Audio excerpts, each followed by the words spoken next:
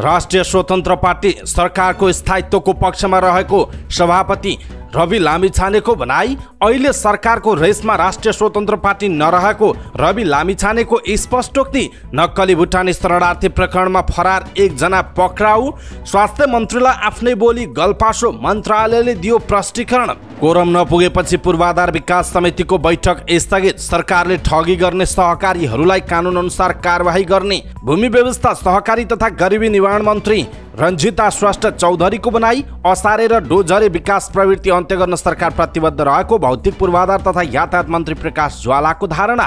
जहाज खरिद गर्नु राष्ट्रिय आवश्यकता रहेको पर्यटन मन्त्री सुदन किराँतीको स्पष्टोक्ति। वैदेशिक रोजगारीलाई नै देश विकासको आधार मान्नुपर्ने अवस्था रहेको श्रम रोजगार तथा सामाजिक सुरक्षा मन्त्री शरद सिंह भण्डारीको बनाई। जनकपुर चुरोट कारखाना चल्ने सम्भावना नरहेको उद्योग मन्त्री रमेश रिजालको प्रष्टोक्ति।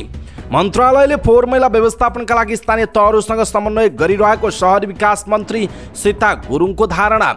आगामी आर्थिक वर्षमा थप नौ सय मेगावाट विद्युत उत्पादन गर्ने लक्ष्य रहेको सिंचाइ मन्त्री शक्तिबहादुर बस्नेतको दावी कानुनको तर्जुमा गरी सामाजिक सञ्जाललाई मर्यादित गर्न ठोस कदम चालिने सञ्चार मन्त्री रेखा शर्माको स्पष्टोक्ति। पशुमा लम्पी स्किन रोगको सङ्क्रमण क्रमशः घट्दो क्रममा रहेको पशुपक्षी विकास मन्त्री डाक्टर बेदुराम भुषालको धारणा विश्वविद्यालय छाता ऐन सम्बन्धी विधेयक प्रक्रियामा रहेको शिक्षा मन्त्री अशोक राईको भनाई। सरकारले बेरुजु कम गर्न प्राथमिकताका साथ काम गरिरहेको अर्थमन्त्री डाक्टर प्रकाश शरण महतको टिप्पणी नेपालको असंलग्न परराष्ट्र नीति कमजोर बनेको। नेकपा माओवादी केन्द्रका महासचिव देव गुरुङको बनाई। चलचित्र बगानको प्रिमियर हेरे पछाडि उपसभामुख र कलाकारहरू भन्छन् समाज परिवर्तन महिलाबाट मात्र सम्भव छैन। पाता कसेको विषयमा दुई वर्ष अघि नै बर्दीमा मदिरा चोर्दा निलम्बनमा परेका थिए जवान राय उन्मत्त व्यवहार देखाउँदा अहिले हतकडी लगाइएको धारणा। कुखुराको मासुको मूल्य घट्यो दोहोरो अङ्कले घट्यो नेप्से परिसूचक कस्तो रह्यो यो साताको सेयर कारोबार यसको विषयमा पुरै जानकारी। फेसबुक गुगल लगायतका कम्पनीले नेपालमा पहिलो पटक कर तिरे नौ करोड रुपियाँ सङ्कलन। सात लाख हारेपछि सट्टेबाजले भने ब्याङ्क खाता देऊ दस लाखको एक हजार रुपियाँ कमिसन पाउँछौ। अमेरिकी सहायक विदेश मन्त्री डोनाल्ड लु भोलि नेपाल आउँदै युक्रेनले तत्काल नेटोको सदस्यता नपाउने निश्चित। लगातारको ठुलो वर्षाका कारण भारतको नयाँ दिल्ली जलमग्न यमुना नदीमा जल सतह पैँतालिस वर्ष यताकै उच्च। ACC emerging teams Asia cup आजदेखि नेपालको खेल भोलि पाकिस्तानसँग हुने एसियन एथलेटिक्स एसोसिएसनको सदस्यमा राजीव विक्रम शाह सर्वाधिक मतसहित निर्वाचित र पोखरामा प्रथम एम्युचर फुटसल प्रतियोगिता हुँदै तयारी तीव्र। दर्शक महानुभाव नमस्कार। समाचार पार्टी डट कमको न्युज बुलेटिनमा यहाँलाई हार्दिक स्वागत छ। म प्रहलाद चन्द्र घिमिरे। सदाको झैँ आज पनि हामी उपस्थित भएका छौँ। आज दिनभरिका मुख्य समाचार ब्रेकिङ न्युज न्युज अपडेट लगायत तपाईँलाई काम लाग्ने हेर्नै पर्ने महत्त्वपूर्ण समाचारहरू लिएर। हाम्रो मेहनतका लागि यो भिडियोमा एउटा लाइक अवश्य गर्नुहोला। दर्शक महानुभाव पलपलको न्युज अपडेट हेर्नका लागि हाम्रो च्यानललाई तपाईँले अहिलेसम्म सब्सक्राइब गर्नुभएको छैन भने कृपया सब्सक्राइब गर्नुहोस् अनि नजिक आउने बेल आइकनलाई क्लिक गर्नुहोला। दैनिक रूपमा हेर्नुहुन्छ भने रेगुलर भनेर लेख्नुहोला। आज पहिलोचोटि हो भने फर्स्ट टाइम भनेर लेखिदिनुहोला। आउनुहोस् दर्शक महानुभाव आजका मुख्य समाचार सुरु गरौँ। राष्ट्रिय स्वतन्त्र पार्टी अहिले सरकारमा जाने रेसमा नरहेको सभापति रवि लामिछानेको भनाइको प्रसङ्गबाट। राष्ट्रिय स्वतन्त्र पार्टीका सभापति रवि लामिछानेले सरकारमा सहभागी हुने कुनै योजना नरहेको बताउनु भएको छ। काठमाडौँमा संसदीय मामिला पत्रकार समाजको नवनिर्वाचित कार्य समितिलाई बधाई तथा शुभकामना दिँदै उहाँले अहिले पार्टी विस्तार लगायतका अन्य आन्तरिक काममा रासोपाको ध्यान केन्द्रित रहेको बताउनु भएको छ। सरकारमा सहभागी हुने योजना छैन पार्टीभित्र कुनै पनि छलफल भएको छैन तर सरकारको स्थायित्वको पक्षमा पनि रासोपा छ रवि लामिछानेको भनाइ छ। पार्टीले आफ्ना निर्णयहरू स्वतन्त्र रूपमा गर्ने गरेको भए पनि कहिले सत्तापक्ष र कहिले प्रतिपक्ष निकट भनेर आरोप लाग्ने गरेको रविले बताउनुभयो। अहिले रासोपा प्रतिपक्षमा रहेको भन्दै सबै प्रतिपक्षको एजेन्डा समान हुन नसक्ने उहाँको भनाइ छ। लामी छानेले मिट्रीब्याज सम्बन्धी कानुनलाई अन्तिम दिनमा सदनमा ल्याउनुले आशंका उत्पन्न गरेको बताउनुभयो। अब सत्तामा रहेका दलहरू नै विपक्षमा उभिन सक्ने उहाँको भनाइ छ। रविले दुईवटा संसदीय समितिको नेतृत्वमा रासोपाको दावी रहेको पनि बताउनु भएको छ।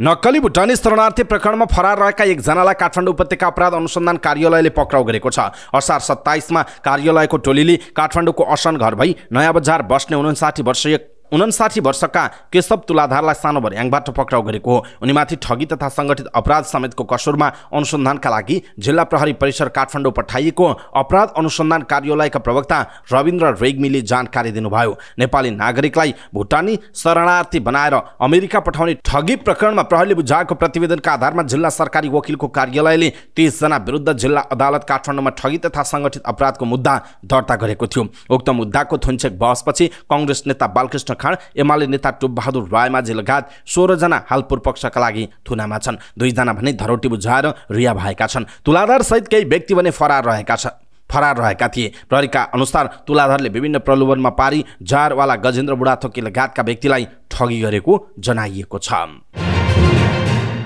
स्वास्थ्य तथा जनसङ्ख्या मन्त्रालयले आत्महत्या जस्ता विषयसँग जोडेर स्वास्थ्य मन्त्री मोहन बहादुर बस्नेतको नाम पत्र पत्रिका तथा सामाजिक सञ्जालमा आएको प्रति गम्भीर ध्यानाकर्षण भएको जनाएको छ। सङ्घ पुल दरबन्दीमा रहेका एकजना विशेषज्ञ चिकित्सकलाई खटाइएको ठाउँमा काम गर्न सम्झाइ बुझाइ गर्दा पनि आफूले राष्ट्रिय ट्रमा सेन्टरमा काम गर्न नपाए आत्महत्या गर्छु भनी पटक पटक धम्कीको भाषा प्रयोग गरेको मन्त्रालयको दावी रहेको छ। ती चिकित्सकलाई तोकिएका स्थानमा जाउन् भनेर स्वास्थ्य कर्मचारीको मनोबल उच्च राख्ने सन्दर्भमा मन्त्री बस्नेतले सो भाषा प्रयोग भएको मन्त्रालयको भनाइ छ। मन्त्री बस्नेतले ती चिकित्सकलाई आत्महत्या गर्ने भई मेरो ढोकामा आएर झुन्डिनु डोरी दिन्छु भनेको बताएपछि उहाँ विवादमा तानिनु भएको हो। हाल सो तथ्य तोडमोड गरी अर्कै भाष्य सृजना गर्ने प्रयास गरी पत्र पत्रिका तथा सामाजिक सञ्जालमा भ्रम सृजना गरेको मन्त्रालयले जनाएको छ। राष्ट्रिय ट्रमा सेन्टरमा सो विषय विज्ञता सम्बन्धी चालिसभन्दा बढी स्वास्थ्य कर्मीहरू कार्यरत रहेको र हालसम्म पनि दरबन्दीभन्दा बढी विशेषज्ञ रहेको तथा अन्य अस्पतालमा दरबन्दीका विशेषज्ञ नभएको अवस्थामा यस्ता धम्कीहरूलाई निरुत्साहन गर्दै स्वास्थ्य कर्मीलाई दरबन्दी भएकै ठाउँमा काम गर्ने वातावरण सृजना गर्न तथा वर्षौँदेखि कामकाजमा मात्र रहने अवस्था सुधार गरी काठमाडौँमा मात्र बस्न खोज्ने प्रवृत्तिलाई रोक्न यस्तो प्रयास गरेको मन्त्रालयले प्रष्टीकरण दिएको छ। त्यही चिकित्सक त्यसपछि पत्र बुझी काठमाडौँ उपत्यका बाहिरको सङ्घीय अस्पतालमा हाजिर भई काम गरिरहेको मन्त्रालयले उल्लेख गरेको छ। मन्त्रालयले जारी गरेको विज्ञप्तिमा भनिएको छ दरबन्दी भएको स्थानमा कर्मचारी नजाने दुर्गमका गरिब विपन्न र निमुखा जनताले विशेषज्ञ सेवा नपाउने तर सुगममा दरबन्दीभन्दा बढी स्वास्थ्य कर्मी चिकित्सक थुप्रिँदा कामकाज र उनीहरूको सट्टामा करारमा लिएका जनशक्तिले गर्दा राज्यलाई वर्ष नै पन्चानब्बे करोडभन्दा बढी आर्थिक भार परेको उल्लेख गरिएको छ। अर्थ मन्त्रालयबाट दरबन्दीभन्दा बढी कामकाजमा रहेका वा करारमा रहेका कर्मचारीलाई आगामी साउन एक गतिदेखि तलब भत्ता पठाउन नसक्ने जानकारी आएको मन्त्रालयका सूचना अधिकारी डाक्टर पवन कुमार शाहले विज्ञप्तिमा भन्नुभएको छ। सांसदहरू अनुपस्थित भएपछि कोरम नपुग्दा बिहिबारका लागि बोलाइएको संसदीय समितिको बैठक बस्दै नबस्दै स्थगित भएको छ। दिउँसो एक बजेका लागि बोलाइएको पूर्वाधार विकास समितिको बैठकमा मेलम्ची खानेपानी आयोजनाका बारेमा छलफल गर्ने कार्यसूची रहेको थियो। तर समिति सञ्चालनका लागि आवश्यक पर्ने सदस्य नै अनुपस्थित भएपछि समितिको बैठक बस्न सकेन। समितिको बैठक बस्न समितिमा रहेका कुल सदस्यमध्ये एकाउन्न प्रतिशत सदस्य उपस्थित हुनुपर्ने व्यवस्था छ। यसअनुसार पूर्वाधार समितिको बैठक बस्न चौधजना सांसद आवश्यक पर्ने जनाइएको छ। भूमि व्यवस्था सहकारी तथा गरिबी निवारण मन्त्री रञ्जिता श्रेष्ठ चौधरीले सरकारले ठगी गर्ने सहकारीहरूलाई कानुन अनुसार कारवाही गर्ने बताउनु भएको छ। राष्ट्रिय सभामा आगामी आर्थिक वर्षको विनियोजित बजेटमाथि सांसदहरूले उठाएका प्रश्नको जवाब दिने क्रममा उहाँले यस्तो बताउनु भएको हो। उहाँले सरकारले ठगी गर्ने सहकारीहरूको अनुगमन र जाँचबुझ गरी प्रचलित कानुन अनुसार कारवाही प्रक्रिया जारी रहेको बताउनु भएको छ। उहाँले सरकारले उनपचास जिल्लामा गरिब घर परिवार पहिचान गरी छ लाख पन्ध्र हजार एकसठीवटा गरिब परिचय पत्र वितरण कार्य सम्पन्न गरेको पनि बताउनु भयो उहाँले पन्ध्रवटा जिल्लामा गुनासो सुनवाईको कार्यक्रम भइरहेको र तेह्रवटा जिल्लाहरूको तथ्याङ्क विश्लेषण गर्ने काम भइरहेको पनि बताउनु भएको छ। भौतिक पूर्वाधार तथा यातायात मन्त्री प्रकाश ज्वालाले डोझरे विकास प्रवृत्तिको अन्त्य गर्न सरकार प्रतिबद्ध रहेको बताउनुभयो। राष्ट्रिय सभा बैठकमा बोल्दै मन्त्री ज्वालाले अध्ययन बिना डोजर चालकको भरमा सडक निर्माण हुँदा अनेकौँ प्राकृतिक विपत्तिहरू भइरहेको भन्दै असारे र डोझरे विकास प्रवृत्ति अन्त्य गर्न सरकार प्रतिबद्ध रहेको बताउनुभयो। उहाँले डोझरे विकासका कारण सय बिघा खेतीयोग्य भूमि पुरिने र पुल तथा पूर्वाधारमा क्षति हुने गरेको उहाँले बताउनुभयो। उहाँले काठमाडौँ लगायत विभिन्न राजमार्गहरूमा रहेका खाल्डाखुल्डी पुर्नका लागि सम्बन्धित निकायलाई मन्त्रालयले निर्देशन दिएको पनि बताउनुभयो। त्यस्तै सवारी चालक अनुमति पत्र सेवाग्राहीलाई छिटोभन्दा छिटो उपलब्ध हुने व्यवस्था गरिने पनि उहाँको भनाइरहेको छ। संस्कृति पर्यटन तथा नागरिक उड्डयन मन्त्री सुदन किराँतीले जहाज खरिद गर्नु राष्ट्रिय आवश्यकता भएको बताउनुभयो। राष्ट्रिय सभाको बैठकमा बोल्दै मन्त्री किराँतीले जहाज खरिद गर्नु आफ्नो निजी स्वार्थको विषय नभएको बताउनु भएको हो। उहाँले जहाज खरिद गर्नु राष्ट्रिय आवश्यकता भएको उल्लेख गर्नुभयो। उहाँले दुर्गम क्षेत्रमा विमानस्थलहरू भने पनि त्यस क्षेत्रमा उड्ने हवाई जहाजको कमीले नियमित उडान गर्न नसक्दा विमानस्थलको औचित्यमाथि नै प्रश्न उठेको बताउनुभयो। दुर्गम क्षेत्रमा उडान गर्दा नाफा नहुने भएकाले निजी क्षेत्र त्यसतर्फ उडान सञ्चालन गर्न आकर्षित नदेखिएको उहाँको भनाइ छ। उहाँले नेपाल वायु सेवा निगमले तिनवटा साना जहाज खरिद गर्ने प्रक्रिया अगाडि बढाएको पनि जानकारी गराउनुभयो। उहाँले कुन प्रक्रियाबाट खरिद गर्ने भन्ने कुरा निगमकै विज्ञ र पदाधिकारीहरूले निर्धारण गर्ने कुरा भएको उल्लेख गर्दै आफूले नेपालको प्रचलित कानुन अनुसार पारदर्शी ढङ्गले जहाज खरिदको प्रक्रिया अगाडि बढाउन निर्देशन दिएको बताउनु भएको छ। दर्शक महानुभाव यसप्रति तपाईँको धारणा के छ? आफ्नो धारणा तलको कमेन्ट बक्समा कमेन्ट गर्नुहोला। श्रम रोजगार तथा सामाजिक सुरक्षा मन्त्री शरद सिंह भण्डारीले वैदेशिक रोजगारी देश विकासको आधार भएको बताउनु भएको छ। राष्ट्रिय सभाको बैठकमा बोल्दै मन्त्री भण्डारीले वर्तमान अवस्थामा देशको विकासको आधार वैदेशिक रोजगारी नै रहेको बताउनुभयो। उहाँले वैदेशिक रोजगारीमा जानु नेपालीका लागि बाध्यता भएको पनि उल्लेख गर्नुभयो। उहाँले देशको परिस्थिति रोजगारीको अवस्था आर्थिक स्थिति र राष्ट्रिय अन्तर्राष्ट्रिय आर्थिक मन्दीका कारण देशको विकासको आधार वैदेशिक रोजगारीलाई मान्नुपर्ने अवस्था रहेको बताउनुभयो। मन्त्री भण्डारीले वैदेशिक रोजगारीमा जाने श्रमिकहरूलाई सुरक्षित सुरक्षित र सम्मानित ढङ्गले गन्तव्यसम्म पठाउनु पर्नेमा जोड दिनुभएको छ। उद्योग वाणिज्य तथा आपूर्ति मन्त्री रमेश रिजालले जनकपुर चुरोट कारखाना चल्ने सम्भावना नरहेको बताउनुभयो। राष्ट्रिय सभामा आगामी आर्थिक वर्षको विनियोजित बजेटमाथि सांसदहरूले उठाएका प्रश्नको जवाब दिने क्रममा उहाँले यस्तो बताउनु भएको हो। उहाँले रुग्ण उद्योग सञ्चालन गर्ने विषयमा बहस भइरहेको अवस्थामा उद्योग मन्त्री रिजालले जनकपुर चुरोट कारखाना चल्ने कुनै सम्भावना नदेखेको बताउनुभयो। उहाँले अन्य रुग्ण उद्योगहरू सञ्चालन मोडालिटी सम्बन्धी अध्ययन प्रतिवेदन तयार गरी अर्थ मन्त्रालयको निजीकरण एकाइमा पेश गरिएको पनि बताउनुभयो। उहाँले रुग्ण उद्योग सञ्चालन गर्ने विषयमा सरकारले गरेको निर्णय अनुसार काम हुने विश्वास पनि दिलाउनुभयो। सहरी विकास मन्त्री सीता गुरुङले फोहोर मैला व्यवस्थापनका लागि मन्त्रालयले स्थानीय तहहरूलाई सहयोग तथा सहजीकरण गरिरहेको बताउनु भएको छ। राष्ट्रिय सभाको बैठकमा बोल्दै मन्त्री गुरुङले मन्त्रालयले फोहोर मैला व्यवस्थापनका लागि स्थानीय तहलाई सहयोग समन्वय र सहजीकरण गरिरहेको बताउनु भयो उहाँले बन्चरी डाँडा वीरगञ्ज र नेपालगञ्जमा मन्त्रालयले नै फोहोर मैला व्यवस्थापन केन्द्र निर्माण गरी हाल सञ्चालनमा आइसकेको बताउनु भयो उहाँले आगामी आर्थिक वर्षमा विभिन्न स्थानीय तहहरूमा फोहोर मैला व्यवस्थापन कार्यको विस्तृत योजना तयार गर्ने गरी बजेट विनियोजन गरिएको पनि बताउनु भएको छ। मन्त्री गुरुङले सङ्घीय संसद भवन मन्त्री निवास प्रदेश प्रमुख र मुख्यमन्त्री आवास तथा सम्पर्क कार्यालयहरू आगामी आर्थिक वर्षमा निर्माण कार्य सम्पन्न गर्ने गरी बजेट विनियोजन गरिएको स्पष्ट पार्नुभयो। ऊर्जा जलस्रोत तथा सिँचाइ मन्त्री शक्तिबहादुर बस्नेतले आगामी आर्थिक वर्षमा थप नौ सय मेगावाट विद्युत उत्पादन गर्ने लक्ष्य रहेको बताउनुभयो। राष्ट्रिय सभा बैठकमा बोल्दै मन्त्री बस्नेतले आगामी आर्थिक वर्ष दुई हजार असी एकासीमा थप नौ सय मेगावाट विद्युत उत्पादन गर्ने लक्ष्य राखिएको बताउनु भएको हो। उहाँले आगामी दस वर्षभित्रमा भने बिस हजार मेगावाट विद्युत उत्पादन गर्ने लक्ष्य राखिएको बताउनुभयो। स्वयंरूपको ऊर्जा विकास दशकको मार्गचित्र र कार्ययोजनाका साथ मन्त्रालयले काम गरिरहेको उहाँको भनाइ छ। मन्त्री बस्नेतले विद्युतको आन्तरिक खपत क्षमता बढाउने पनि बताउनु भएको छ।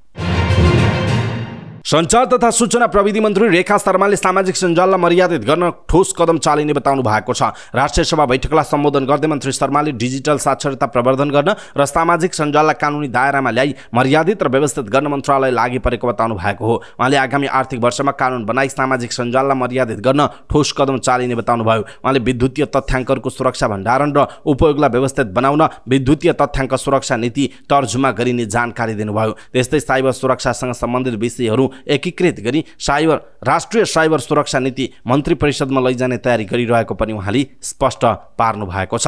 मन्त्री शर्माले हाल दुई सय बयालिसवटा टेलिभिजन नौ सय अठाइस एफएम रेडियो सात हजार नौ सय उना असी पत्र पत्रिका र तिन हजार नौ सय नब्बे अनलाइन पत्र पत्रिका दर्ता भई सञ्चालनमा रहेको जानकारी दिनुभयो। गोर्खा पत्रबाट अडतिस भाषा रेडियो नेपालबाट एक्काइस भाषा र नेपाल टेलिभिजनबाट नौ भाषामा समाचार सामग्री प्रकाशन तथा प्रसारण भइरहेको पनि उहाँले जानकारी दिनुभयो।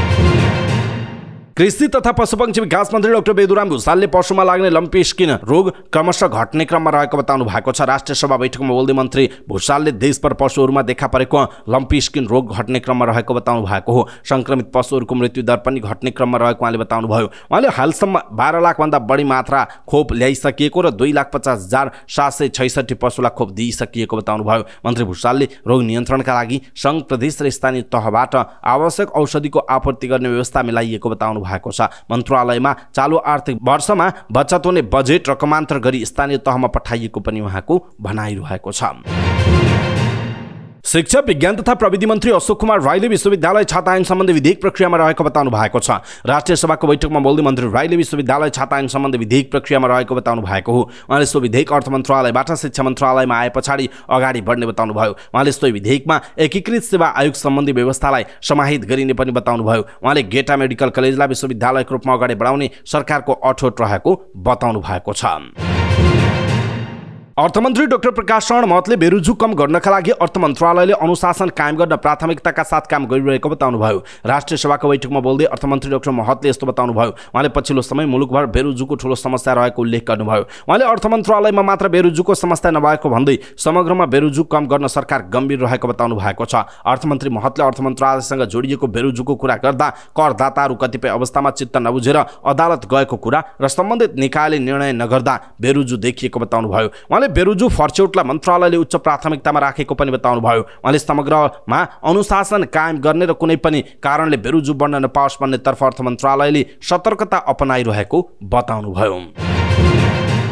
नेकपा माओवादी केन्द्रका महासचिव देव प्रसाद गुरुङले असंलग्न परराष्ट्र नीति कमजोर बन्दै गएको बताउनु भएको छ। भक्तपुरमा आयोजित चिनिया कम्युनिस्ट पार्टी अन्तर्राष्ट्रिय विभागको नेपाल चीन रेशमी सहकार्य समुन्नत भविष्यका लागि सहयात्रा कार्यक्रमलाई सम्बोधन गर्दै उहाँले यस्तो बताउनु भयो। उहाँले राष्ट्र देश र जनताको स्वार्थभन्दा पनि नेता दलहरूको स्वार्थमा बढी केन्द्रित हुँदा असंलग्न परराष्ट्र नीति कमजोर बन्दै गइरहेको बताउनु भएको हो। उहाँले पछिल्लो समयमा पञ्चशीलको सिद्धान्त कमजोर हुँदै गइरहेको स्वतन्त्र परराष्ट्र नीति कमजोर बन्नुको कारण कुनै न कुनै दबाव र प्रभावमा पर्दै जाने स्थितिले असंलग्न आन्दोलन अगाडि बढाउनुको सट्टामा पक्षधरता बन्ने ढङ्गको प्रवृत्ति बढ्दै गइरहेको भन्दै आपत्ति जनाउनु भएको हो। सरकार पनि राष्ट्रिय सहमतिबाट नै बनाउन आवश्यक रहेको उहाँले बताउनु भएको छ।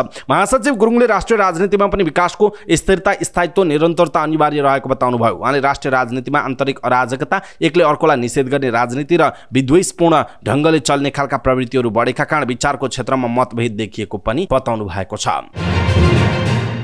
उपसभामुख इन्दिरा राणाले समाज परिवर्तनका लागि महिला एक्लैले नसक्ने बताउनु भएको छ। काठमाडौँमा चलचित्र बगानको प्रिमियर सो हेरे पछाडि सञ्चारकर्मीसँग कुराकानी गर्दै उहाँले यस्तो बताउनु भएको हो। उहाँले पुरुषहरूले श्रीमान बितेका महिलाहरू सम्बन्ध विच्छेद भएका महिलाहरूलाई अरू महिलाहरू जतिकै सम्मानित हुन्छन् भन्न नसोचेसम्म समाज परिवर्तन गर्न नसकिने बताउनु भयो प्रिमियर सो पछि बोल्दै गायिका सुनिता दुलालले समाजको कथावस्तु फिल्ममा देखाइएको बताउनु भयो उहाँले चलचित्र समाज परिवर्तनको मुख्य वाहक बन्नेमा विश्वस्त रहेको बताउनु भयो अभिनेता रमेश उप्रेतीले चलचित्रले समाज परिवर्तनको भूमिका निभाउने बताउनुभयो। अभिनेत्री दिपाश्री निरौलाले चलचित्र बगान आफैमा क्रान्तिको माध्यम भएको उल्लेख गर्नुभयो। अभिनेत्री करिश्मा मानन्दरले फिल्म बगानका केही दृश्यहरूले आफ्नो आत्मसन्तुष्टि मिलेको बताउनुभयो। त्यस्तै वरिष्ठ अभिनेता सरोज खनालले आफूलाई निर्देशक भन्दा पनि लेखकमा राम्रो पाएको बताउनुभयो। यस चलचित्रमा सरोज खनाल करिश्मा मानन्दर प्रमिला कार्की आकाश श्रेष्ठ निर शाह वसुन्धरा भूषाल र मिथिला शर्मा लगायतको अभिनय छ। स्वप्निल निरवको कथामा आधारित रही बनेको बनेको यो चलचित्रबाट अभिनेता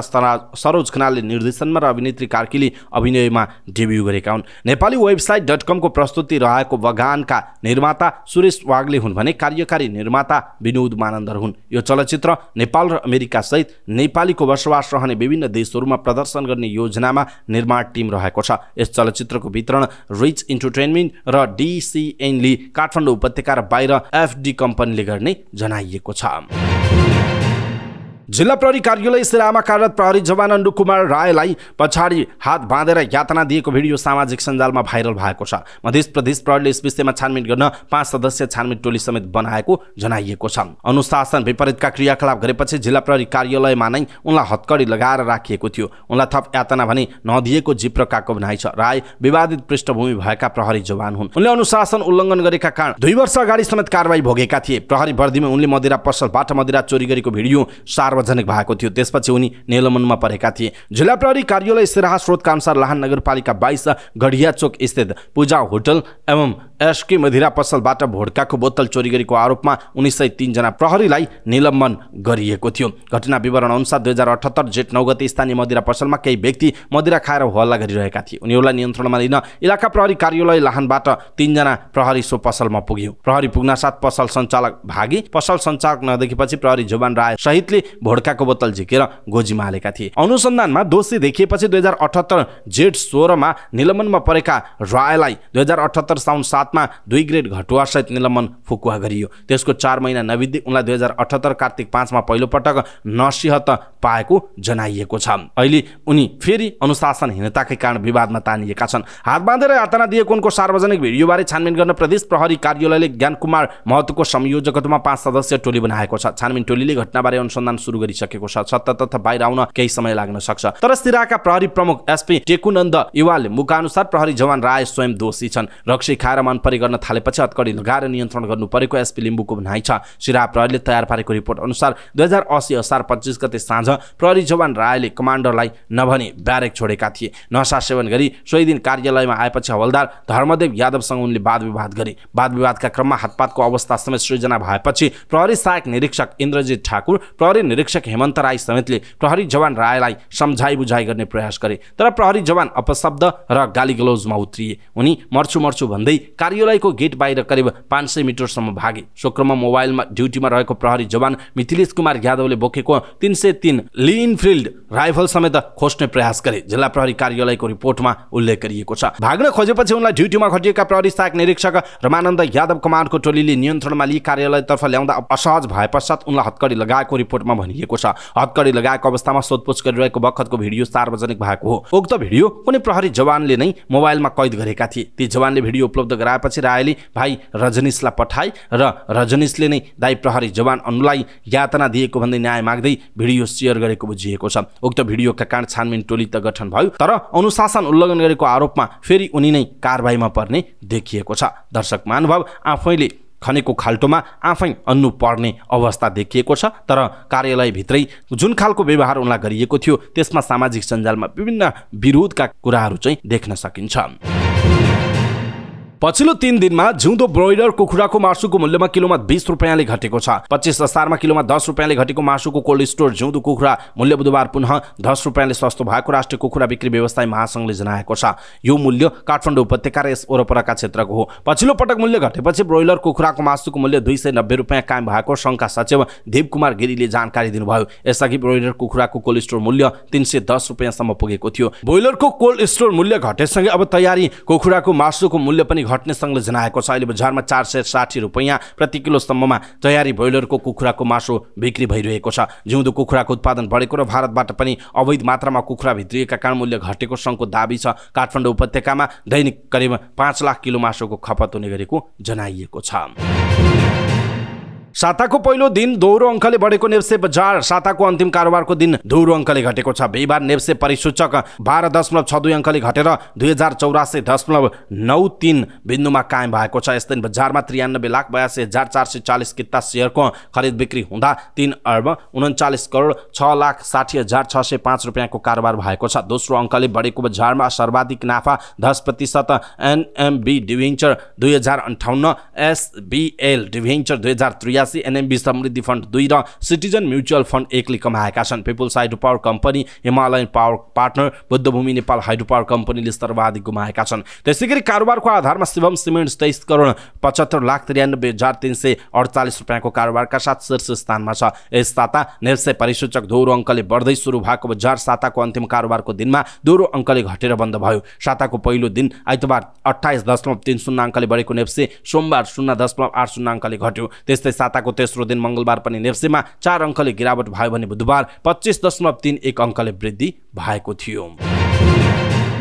नेपालमा डिजिटल सेवा उपलब्ध गराउने गैर बासिन्दा व्यक्ति तथा कम्पनीले पहिलोपटक कर तिरेका छन्। नेपालमा कम्पनी कार्यालय र भौतिक उपस्थिति नै नभएका तर आर्थिक कारोबार गर्ने गुगल फेसबुकको मातृ कम्पनी मेटा युट्युब टिकटक लगायतका नौवटा कम्पनी नेपालको कर प्रणालीमा दर्ता भएर पहिलोपटक कर तिरेका हुन्। यही असारको पच्चिस गतेसम्ममा नौवटा कम्पनी मध्ये केहीले नौ करोड रुपियाँ मूल्य अभिवृद्धि कर भ्याट तिरेको आन्तरिक राजस्व विभागका महानिर्देशक दीर्घराज मैनालीले जानकारी दिनुभयो। चालु आर्थिक वर्षदेखि सरकारले आर्थिक ऐनमा नै व्यवस्था गरेर नेपालमा कारोबार गर्ने गैर बासिन्दा व्यक्ति तथा कम्पनीले कर तिर्नुपर्ने व्यवस्था गरेको थियो। ऐन अनुसार गुगल फेसबुक युट्युब लगायतका कम्पनीले नेपालबाट गरेको कारोबारको दुई प्रतिशतका दरले विद्युतीय सेवा कर डिएसटी तिर्नुपर्छ। यो व्यवस्थालाई कार्यान्वयन गर्न विभागले छुट्टै निर्देशिका र सफ्टवेयर बनाएर कम्पनीहरूलाई सहजीकरण गरिदिएको महानिर्देशक मैनालीले बताउनुभयो। विभागले सहजीकरण गरेपछि कम्पनीहरूले नेपालमा नै आउन नपर्ने गरी अनलाइन स्थायी नम्बर प्यान उपलब्ध गराएको र कर पनि डलर खातामा विदेशबाट तिर्न मिल्ने व्यवस्था मिलाएको उहाँको भनाइरहेको छ। भक्तपुरको मध्यपुर छिमी चार दुधपोखरीका सत्ताइस वर्षीय दिपेश श्रेष्ठलाई बेटिङको लत बसेपछि करिब सात लाख रुपियाँ घुमाएको पत्तै पाएनन्। दिपेशका अनुसार उनले सात आठ महिना अघि one X bet application download गरेर बेटिङ गर्न थालेका थिए। एक दिन एजेन्टले टेलिग्राम एपमा सम्पर्क गरी एउटा प्रस्ताव गरी तिम्रो ब्याङ्क खाता हामीलाई देऊ दस लाख रुपियाँ जम्मा भयो भने एक हजार रुपियाँ कमिसन पाउँछौ। घुमेको पैसा कसरी फर्काउने भने भनेर सोचिरहेका दिपेशलाई उक्त प्रस्ताव उत्तम लाग्यो। त्यसपछि उनले NIC Asia bank Prabhu bank र माछापुच्छ्रे ब्याङ्कमा रहेको आफ्नो खाता नम्बर ती एजेन्टलाई उपलब्ध गराए दिपेशका अनुसार बेटिङ गर्नेले रकम उनको खातामा जम्मा गर्ने गर्थे तर त्यसरी जम्मा गर्नेले बेटिङ हार्थे कि जित्थे भनेर आफूलाई थाहा नहुने हाल प्रहरी हिरासतमा रहेका दिपेशले बताएका छन् तर जित्ने खेलाडीहरूलाई आफूले सिस्टमबाट पैसा पठाइदिने गरेको उनको भनाइरहेको छ आफ्नो खातामा जम्मा भएको रकम एजेन्टले उपलब्ध गराएका खाताहरूमा पठाइदिने गरेको उनले बयान दिएका छन् उनले हालसम्म तिसदेखि पचास हजार रुपियाँसम्म कमिसन लिएको पनि अनुसन्धानका क्रममा खुलाएका छन् प्रहरीका अनुसार दुई हजार उना असी असोजदेखि हालसम्म दिपेशको तिनवटा ब्याङ्क खातामा दुई करोड छप्पन्न लाख एकसठी हजार तिस रुपियाँ एकसठी पैसा जम्मा भएको पाइएको छ। हाल ती खातामा साठी हजार पैँतिस रुपियाँ ब्यालेन्स रहेको प्रहरी अनुसन्धानबाट खुलेको छ। उनी विरुद्ध जुवा वा सट्टेबाजी गर्न नहुने कसुर अन्तर्गत भक्तपुर जिल्ला अदालतमा अभियोग पत्र दायर भएको छ। दक्षिण तथा मध्य एसिया हेर्ने अमेरिकी सहायक विदेश मन्त्री डोनाल्ड लु शुक्रबार नेपाल आउने भएका छन्। काठमाडौँ स्थित अमेरिकी दूतावासले बिहिबार एक सूचना जारी गरी लुको नेपाल भ्रमणबारे जानकारी गराएको हो। नेपाल भ्रमणका क्रममा लुली नेपालका राजनैतिक दलका नेताहरू र दूतावासका कर्मचारीलाई भेट गर्नेछन्। लु अमेरिकाबाट सिधै नेपाल आउने र केही घण्टामा दक्षिण एसियाको अर्को कुनै देशमा जाने समेत स्रोतको भनाइ छ। उनी नेपालमा एमसिसी कार्यान्वयनको अवस्थाबारे जानकारी लिने उद्देश्यले नेपाल आउन लागेको परराष्ट्र मन्त्रालय स्रोतले जनाएको छ। लु अमेरिकी विदेश मन्त्रालयका प्रभावशाली सहायक मन्त्री मध्येका एक हुन्। उनले यसअघि पनि दुई पटक नेपालको भ्रमण गरिसकेका छन्। उनी नेपालमा अमेरिकी सहयोग परियोजना मिलिनियम च्यालेन्ज कर्पोरेसन एमसिसी पारितको चरणमा रहेको अवस्थामा अमेरिकाबाट तारन्तार भएका भ्रमणको क्रममा नेपाल आइपुगेका थिए। त्यसपछि अमेरिकाले प्रस्ताव गरेको स्टेट पार्टनरसिप प्रोग्राम एसपिपीमा सहभागी हुने विषयमा संवाद गर्न पनि उनी नेपाल आएका थिए। तत्कालीन प्रधानमन्त्री शेरबहादुर देउमा नेतृत्वको सरकारले एसपिपी प्रस्तावलाई अस्वीकार गर्ने निर्णय मन्त्री परिषदबाट पारित गरेपछि उनी त्यसको केही समयपछि नेपाल आइपुगेका थिए। एमसिसी पारित हुने विषयमा नेपालमा चर्को बहस भइरहेको अवस्थामा सोही वर्षको माघ सत्ताइसमा एकै दिन लुली प्रधानमन्त्री शेरबहादुर देउबा एमाले अध्यक्ष केपी शर्मा ओली र माओवादी केन्द्रका अध्यक्ष पुष्पकमल दाहाल प्रचण्डसँग टेलिफोन संवाद गरेका थिए। संवाद भएको करिब दुई हप्तापछि दुई हजार अठहत्तर फागुन पन्ध्रमा नेपालको संसदले व्याख्यात्मक घोषणासहित एमसिसी अनुमोदन गरेको थियो। युक्रेनले तत्काल उत्तर एटलान्टिक सन्धि सङ्गठन नेटोको सदस्यता नपाउने निश्चित भएको छ। लिथुआनियाको राजधानी विलनियसमा दुई दिनसम्म भएको नेटो सम्मेलनमा युक्रेनको सदस्यता मुख्य विषय भनेको थियो। तर स्विडेन नेटोको नयाँ सदस्य बन्ने निश्चित भए पनि युक्रेनलाई सदस्यता दिने बारेमा भने सम्मेलनले कुनै निर्णय गरेन। नेटोमा आबद्ध देशहरूले रुससँगको लडाइँमा युक्रेनलाई थप सैन्य सहयोग गर्ने प्रतिबद्धता व्यक्त गरेका छन्। बेलायतका प्रधानमन्त्री ऋषि सुनकले युक्रेनलाई नेटो सदस्यताको बाटोमा सहयोग गर्ने बताएका छन्। त्यस्तै नेटोका प्रमुख जेन्स स्टोनबर्गले यो ऐतिहासिक भएको तर युक्रेनलाई सदस्यता दिनेबारे कुनै निर्णय नभएको बताएको बिबिसीले जनाएको छ। युक्रेनले सदस्यता पाउन पहिले आर्थिक राजनीतिक र सैन्य मापदण्डहरू पुरा गर्नुपर्नेछ। सन् उन्नाइस सय उनपचासमा स्थापना भएको नेटोमा सुरुवाती समयमा अमेरिका बेलायत क्यानाडा फ्रान्स लगायत बाह्र देश सहभागी थिए। त्यसपछि युरोप र उत्तर अमेरिका सहित एकतिस सदस्य पुगेको छ अब स्विडेन पनि थपिएको छ। नेटोमा आबद्ध देशमा कहीँ कतैबाट आक्रमण भई सबैले प्रतिरक्षा गर्ने सहमति छ। युक्रेन नेटोमा आबद्ध हुन लागेको विषय उठाएर रुसले अघिल्लो वर्ष फेब्रुअरीमा युक्रेन युक्रेन विरुद्ध आक्रमण सुरु गरेको हो। लगातारको वर्षाका कारण भारतको राजधानी दिल्ली जलमग्न भएको छ। यमुना नदीमा पानीको सतह ज्यादै बढ्दा धेरै ठाउँमा डुबान भएको छ। दिल्लीका मुख्यमन्त्री अरविन्द केजरीवालले यमुना नदीमा जल सतह पैँतालिस वर्ष यताकै उच्च भएको बताएको बिबिसीले जनाएको छ। उनका अनुसार नदीमा अझै पानीको सतह बढिरहेको छ। भारतीय सञ्चार माध्यमका अनुसार यमुना नदीमा पानीको सतह दुई सय आठ दशमलव शून्य आठ मिटर मापन गरिएको छ। यो भनेको खतराको बिन्दुभन्दा झन्डै दुई मिटर धेरै हो। सन् दुई हजार तेह्रमा दुई सय सात दशमलव तिन तिन मिटर मापन गरिएको थियो। सन् उन्नाइस सय अठहत्तर स्तरमा दुई सय सात दशमलव चार नौ मिटर मापन गरिएको थियो। बाढीको खतरालाई मध्यनजर गर्दै दिल्ली सरकारले होचा क्षेत्र खाली गर्न चेतावनी जारी गरेको छ। हरियाणाको हथिनी कुथ बाँधबाट निरन्तर पानी छोडिएकाले दिल्लीमा बाढी आएको हो। बाढीको पानी सडक र बस्ती क्षेत्रमा पस्दा सहर पुरै जलमग्न भएको छ। बाढीको खतरालाई मध्यनजर गर्दै दिल्ली सरकारले होचा क्षेत्र खाली गर्न चेतावनी जारी गरेको छ। नदी आसपासका झन्डै तिन हजार जनालाई सुरक्षित ठाउँमा सारिएको जनाइएको छ। ACC emerging teams Asia cup श्रीलङ्कामा हुँदैछ। प्रतियोगिताको पहिलो दिन समूह एका दुई खेल हुँदैछन्। घरेलु टोली श्रीलङ्का ए र बङ्गलादेश बिचको खेल सिंहालिस स्पोर्ट्स क्लबमा कोलम्बोमा हुँदैछ। त्यस्तै अर्को खेलमा अफगानिस्तान ए र ओमान ए कोलम्बो क्रिकेट क्लबमा खेल्नेछन्। प्रतियोगितामा सहभागी आठ टोलीलाई दुई समूहमा विभाजन गरिएको छ। समूह एमा श्रीलङ्का ए बङ्गलादेश ए अफगानिस्तान ए र ओमान ए तथा समूह बीमा पाकिस्तान ए भारत ए नेपाल र युए रहेका छन्। नेपालले पहिलो खेलमा भोलि पाकिस्तानको टोली एसँग प्रतिस्पर्धा गर्ने जनाइएको छ। नेपालले दोस्रो खेल भारतको ए टोलीसँग साउनको एक गते र युएको ए टोलीसँग साउनको तिन गते खेल्नेछ। दुई समूहका शीर्ष दुई टोली सेमी फाइनलमा पुग्नेछन्। प्रतियोगिताको फाइनल खेल साउनको सात गते हुने जनाइएको छ। एसियन एथलेटिक्स एसोसिएसनको सदस्यमा राजीव विक्रम शाह निर्वाचित भएका छन्। थाइल्यान्डको ब्याङ्ककमा भएको साधारण सभाले नेपाल एथलेटिक्स एसोसिएसनका अध्यक्ष समेत रहेका शाहलाई सदस्य पदमा निर्वाचित गरेको हो। कार्य समिति सदस्य पदमा मतदान हुँदा शाहले सर्वाधिक चौतिस मत प्राप्त गरे। कार्य समितिका आठजना सदस्यका लागि सोह्रजना बीच प्रतिस्पर्धा भएको थियो। एसोसिएसनको अध्यक्षमा कतारका दहलान जमन बी अल हमद निर्विरोध निर्वाचित भएको जनाइएको छ।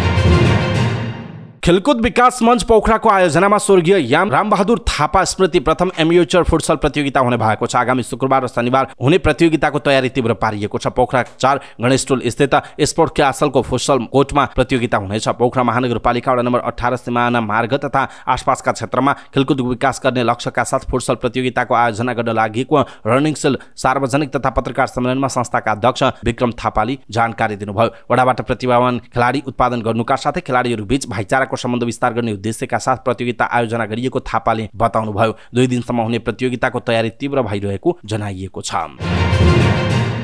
हवस् त दर्शक महानुभाव समाचार पार्टी डट कमको न्युज बुलेटिन अहिलेका लागि यति नै। हामीले प्रस्तुत गरेका यी समाचारहरूप्रति तपाईँको धारणा के छ आफ्नो धारणा तलको कमेन्ट बक्समा कमेन्ट गर्नुहोला। हाम्रो मेहनतका लागि यो भिडियोमा एउटा सानो लाइक अवश्य गर्नुहोला। दर्शक महानुभाव पलपलको न्युज अपडेट हेर्नका लागि हाम्रो च्यानललाई तपाईँले अहिलेसम्म सब्सक्राइब गर्नुभएको छैन भने कृपया सब्सक्राइब गर्नुहोस् अनि नजिकै आउने बेल आइकनलाई क्लिक गर्नुहोला। दैनिक रूपमा हेर्नुहुन्छ भने रेगुलर भनेर लेख्नुहोला। आज पहिलोचोटि भने फर्स्ट टाइम भनेर लेखिदिनुहोला। समाचार पार्टी डट कमको न्युज बुलेटिन नेपाली समयअनुसार भोलि बिहान पाँच बजे फेरि लिएर उपस्थित हुनेछौँ। तबसम्मका लागि हामीलाई बिदा दिनुहोस्। पलपलको न्युज अपडेटका लागि समाचार पार्टी डट कम हेर्दै गर्नुहोस्। नमस्कार।